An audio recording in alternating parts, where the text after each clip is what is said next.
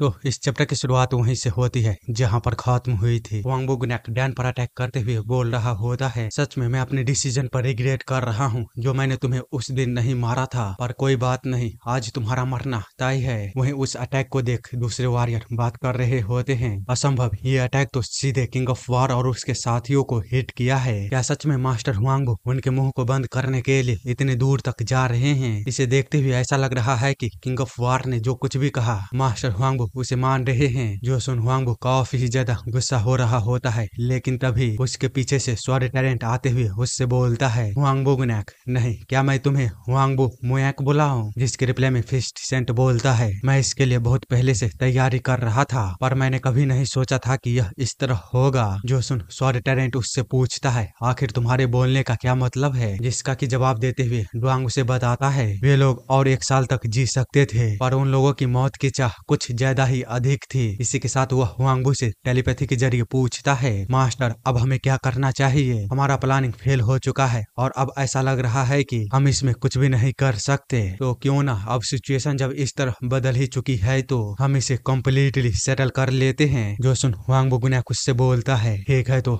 आगे बढ़ो। डुआंग जिसको सुनते ही कहता है अब हुई न बात। इसी के साथ वह अपने कोल्ड पैरासाइट को एक्टिवेट करने लगता है। वहीं दूसरी तरफ़, इन सबसे अनजान स्वर टैलेंट अभी भी बोल रहा होता है, मास्टर हुआंगबो तो तुम नकली हो। आखिर तुमने हमारे रूल्स को वायलेट कैसे किया? या तुम्हें लगता है कि हेवन इसके लिए तुम्हें कभी भी माफ़ करेगा? आगे कुछ वो बोल पाता, तभी उसके सीने में बैठा। वह कोल्ड पैरासाइट एक्टिवेट हो जाता है, जिसके चलते स्वादिशन को काफ़ी ही बड़ा झटका लगता है, और वह अपने सीने को पकड़ता हुआ कहता है ये कैसे हुआ? आखिर मेरे बॉडी के अंदर पॉइजनस पेरासाइट इस तरह क्यों बिहेव कर रहा है? इधर स्वर टैलेंट भी उस झटके को महसूस कर कहता है, यह किस तरह का सिम्टम है? मेरी क्यूआई वह इतनी आसानी से क्यों घटती जा रही है? क्या ऐसा हो सकता है कि मुझे पॉइजन दिया गया हो? इतना बोलते हुए वह दर्द के मारे अपने घुटनों पर आ जाता है, जो देखता हुआ फिस्ट सेंट उन सभी से बोलता है यूनियुबजा ऐसा लगता है कि तुम बहुत हैरान नहीं हो, क्योंकि तुम पहले से ही जानते थे कि आइसोल पॉइजनस पैरासाइट वह इस पूरे समय तुम्हारी बॉडी को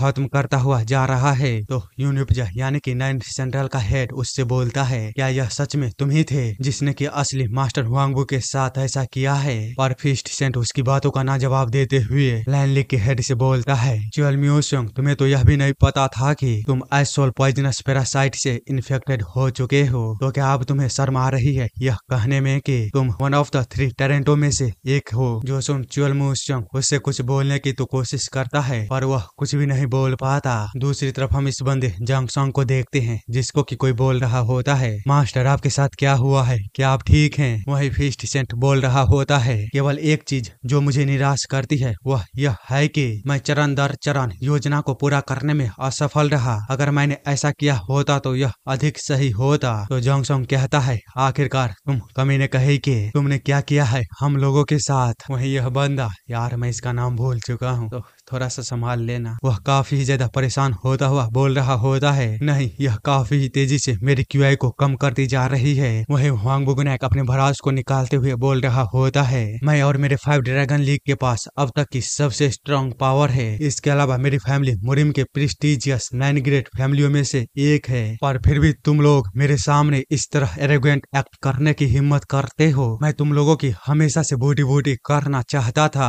क्योंकि तुम लोग अपने एरोगेंस में फाइव ग्रेट फैमिलियों को अंडर एस्टिमेट कर रहे थे। खासकर तुम बेवकूफ़ लाइन लीग के कमीने। तुम एक छोटे से बिंदु से उठकर इतनी ऊपर आने की हिम्मत कैसे कर सकते हो? मैं हमेशा से तुम लोगों को रौंदना चाहता था। फिस्ट सेंट की इस तरह की बातों को सुन इमोटल स्वर अपने मन में सोच रहा होता है। मेरी क्रिया की घटने की गति काफ़ी ही ज़्यादा तेज है। अगर हमने इस जहर को जल्दी ही डिटॉक्सीफाइड करने के तरीके को नहीं ढूंढा तो इस जहर के कारण हर कोई मर जाएगा। वही हुआंग की बातों को सुन कुछ वारियर बोल रहे होते हैं, तुम केवल हमें इन दो कारणों से मारना चाहते हो। मैं तुम्हें कभी भी माफ़ नहीं करूँगा हुआंगबू मुएक। तो हुआंगबू उन सभी के मज़े लेता हुआ उनसे बोलता है, ओह अच्छा अगर तुम मेरे बनाए गए प्लानिंग से खुश नहीं हो तो आओ और मुझे अपनी शक्ति से रोको। लेकिन उससे पहले मैं तुम लोगों को एक चीज़ की गारंटी देता हूँ। तुम्हारे साथ कदम उठाने से पहले तुम खुद को मरा हुआ पाओगे, जिस पर की उसे एक आवाज़ सुनाई देता है, जो कि बोल रहा होता है, क्या तुमको सच में लगता है कि मैं तुम्हारे इस पागलपंती को बर्दाश्त करूँगा।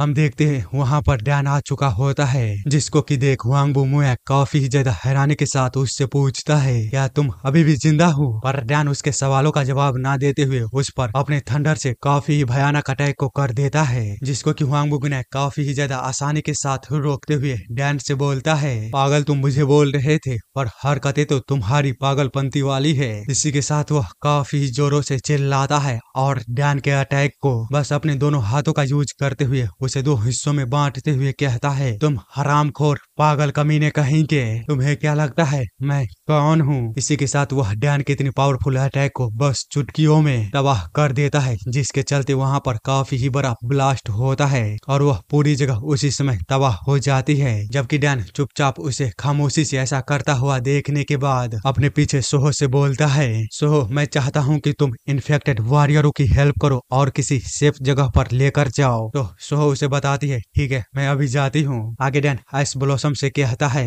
यंग लेडी हान प्लीज़ फाइव ड्रैगन लीग के अवशेषों का ध्यान रखिए। तो आइस ब्लॉसम कहती है हाँ मैं समझ गई। तभी वहाँ पर ओल्ड बैगर और हांसू भी आते हुए कहता है, आप हमें कैसे भूल सकते हैं? आपने तो हमें काफ़ी निराश किया, बड़े भाई। वही ओल्ड बैगर बोल रहा होता है किंग ऑफ़ वॉर आप हमेशा मेरी उम्मीद से परे प्रॉब्लम को खड़ा कर देते हैं। लेकिन फिर भी मैं अभी भी आपके साथ हूँ तो आप जितना चाहे उतनी परेशानी को पैदा कर सकते हैं। मैं बाकी की देखभाल करने की पूरी कोशिश करूँगा। उन सभी को एक साथ डैन के पीछे देख वांगबू मुया कहता है, क्या मैं सच में इन जैसे कमजोरों को एक साथ फोर्स को ज्वाइन करते हुए देख रहा हूँ? यह कितना पैथेटिक है। तो डुआंग उससे बोलता है हाँ सही कहा। उनके जैसे कमज़ोर लोग आपके सामने कुछ भी नहीं है। इतना बोलते हुए वह डैन के पास जाते हुए उससे कहता है, किंग ऑफ़ वार, मास्टर को तुम्हारा सामना करने की कोई आवश्यकता नहीं है। तुम्हारा सामना करने के लिए। मैं सिचुआन के डंग फैमिली का पेटेरिया आज ही काफ़ी हूँ। इसीलिए इससे कोई फ़र्क नहीं पड़ता है कि तुम कितने स्ट्रांग हो। बेहतर होगा कि तुम खुद को पूरी तरह से तैयार कर लो, क्योंकि गांगो के बहत्तर वॉरियर वो भी असहाय हैं। मेरे पॉइजन के आगे, मेरा पॉइजन ब्लड स्ट्रीम में प्रवेश करके अटैक करता है। इसीलिए तुम यह सोचने की गलती भी मत करना कि तुम अपने तुच्छ से क्यू कंट्रोल से इससे बच सकते हो। इसीलिए अब तैयार हो जाओ। समय आ चुका है। आगे वो कुछ बोल पाता तभी वो देखता है। डैन ने तो उस पर पहले ही अटैक कर दिया होता है और उसके बकलोल से मुँह को अपने पैरों से कुचलता हुआ सीधे हुआंग वो गुना की ओर बढ़ चुका होता है और तुरंत ही उसके पास पहुंचकर उसके फेस पर काफ़ी ही जोरदार तरीके से अपने पंच को बनाता हुआ घुसा मारते हुए उसे बताता है, आखिर तुम कब तक फाइव ड्रैगन लीग के पीछे छुप कर इतनी बातें करते रहोगे? अब तुम्हारे लिए लड़ने का समय आ चुका है। पूरा ऑडियंस इंतज़ार करते करते थक चुके हैं और डैन के इसी डायलॉग के साथ चैप्टर यहीं पर खत्म हो जाती है। और गाइस आगे की चैप्टर अभी तक नहीं आई है तो इस मानवा की अगली वीडियो कब आएगी, मुझे नहीं पता। और गाइस मैंने अपने पिछले वीडियो में प्रॉमिस किया था कि जो भी मेरे सवाल का जवाब देगा, मैं उसे शॉर्ट आउट दूँगा। पर किसी अननोन कारण के कारण मैं ऐसा नहीं कर पाया। पर खैर, कोई बात नहीं। अब जबकि मैंने आप लोगों को वादा किया था तो निभाना तो पड़ेगा ना। तो चलिए देखते हैं आखिर किन भाइयों ने क्या कमेंट किया है। एनिमेशन कहते हैं कि he was his friend in the starting episode I don't know his name but shout out दे दो। अरे यार, खैर थैंक्स ब्रो अब ये मत पूछना कि मैंने थैंक्स क्यों बोला। आगे सुशांत बोलते हैं किंग ऑफ़ वॉर का दोस्त डैन को बचाते हुए खाई से गिर गया था। अरे नहीं भाई, वो गिरा नहीं था, बल्कि उसकी रीढ़ की हड्डी को तोड़कर खाई से नीचे फेंक दिया था। आगे लक्ष्य राज बोलते हैं ब्रो फ़र्स्ट एपिसोड वाला बंदा है, ये जो पिटा था जनरल से। हाँ सही कहा ब्रदर शुभम बोलते हैं डैन का ब्रदर सही कहा शुभम भाई। आगे शिवाजी राठौड़ कमेंट करते हैं डैन का विलेज का फ्रेंड बिल्कुल सही कहा आपने, शिवाजी राठौड़। जी हंटर कहते हैं, भाई मेन कैरेक्टर का फ्रेंड है। आर्निका गेमिंग कहते हैं, ब्रो, पहाड़ी से गिर गया था, वो है, जिसको की मार कर फेंक दिया गया था। नाम तो मैं भूल गया हूँ, पर आई थिंक यही बोलना चाहते हो ना आप आर्निका गेमिंग राजकुमार कहते हैं स्टार्टिंग एपिसोड में कैरेक्टर का फ्रेंड है। इसी के साथ सारे कमेंट यहीं पर खत्म होते हैं। और यार, मैं किसी का नेम अगर गलत ले लिया हूँ तो प्लीज़ मुझे माफ़ करना और मुझे ज़रूर बताना, ताकि मुझे भी पता चले। बाकी, चलिए, मिलते हैं अगले वीडियो के साथ। तब तक के लिए सब अपना ध्यान रखिए।